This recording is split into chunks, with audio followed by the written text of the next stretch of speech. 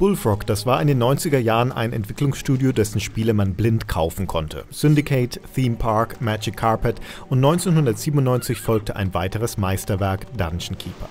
Nicht nur hübsche Intros rendern konnten die Engländer, sondern zeigten sich technisch und kreativ einmal mehr als Meister ihres Fachs. Dungeon Keeper ist ein Aufbauspiel mit genial verdrehter Grundidee. Statt Schmusestädtchen zu erstellen, baut man ein möglichst mörderisches Dungeon, um darin Helden zu quälen. Das erweist sich als Managementaufgabe, denn so ein Kerker will verwaltet werden. Wir bestimmen das Layout unserer Gänge und Gewölbe nach unseren Vorstellungen, Imps brechen als Allzweckarbeiter Räume ins Gestein. Dungeons sind in Dungeon Keeper Ökosysteme für Kreaturen, die sich dort wohlfühlen müssen, die Tätigkeiten nachgehen und natürlich schatzsuchenden Helden den Tag vermiesen. Da sind auch schon die ersten Bewohner aufgetaucht, Käfer, eine der schwächeren Viechersorten. Damit trotzdem noch was aus ihnen wird, stecken wir sie in den Trainingsraum, wo sie nach und nach im Level aufsteigen. Kreaturen haben Fertigkeiten, aber auch Bedürfnisse, zum Beispiel nach Nahrung. Dafür gibt's den Hühnchenraum voller gackernder Leckerbissen. Nach und nach erhalten sie immer bessere Spezialisten für erweiterte Aufgaben. Zauberer zum Beispiel erforschen in der Bibliothek neue Räume und magische Sprüche. Dieser Troll hier ist auf dem Weg in die Werkstatt, denn dort bauen er und seine Kollegen nützliches Dungeon-Zubehör wie Türen und diverse Arten von Fallen.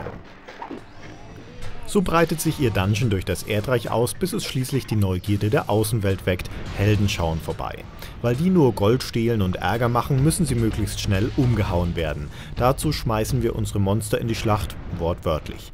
Die Kämpfe selbst laufen automatisch ab, wir können aber durch Zauber eingreifen.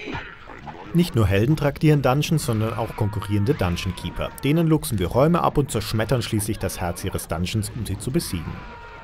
Eine der wichtigsten Ideen von Dungeon Keeper ist, durch eine körperlose Hand direkt mit der Welt zu interagieren. Ein Konzept, das Peter Molyneux später für Black and White weiterentwickeln wird. Mit der Hand schleppen wir nicht nur Gegenstände und Kreaturen umher, sondern verteilen auch gezielt Ohrfeigen, um eigene Viecher zu motivieren und Gefangene zu demütigen. Generell durchzieht Dungeon Keeper ein sehr schwarzer Humor, dem Szenario angemessen. So gibt es etwa eine Folterkammer, in der man Helden und eigene Kreaturen quälen kann. Jede Spezies bekommt dabei ihre eigene animierte Foltermethode. Wie die vorherigen Bullfrog-Spiele lebt Dungeon Keeper von seiner Originalität und Vielseitigkeit.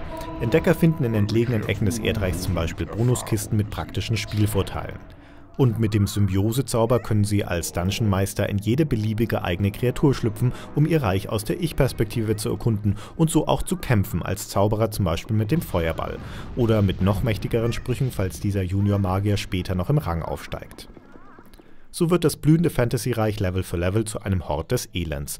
Ein eigenwilliges, kurioses, trotz mancher Macken fesselndes Spielprinzip, das dem originellen Aufbauspiel Dungeon Keeper bis heute einen Platz im schwarzen Herz vieler Spieler sichert.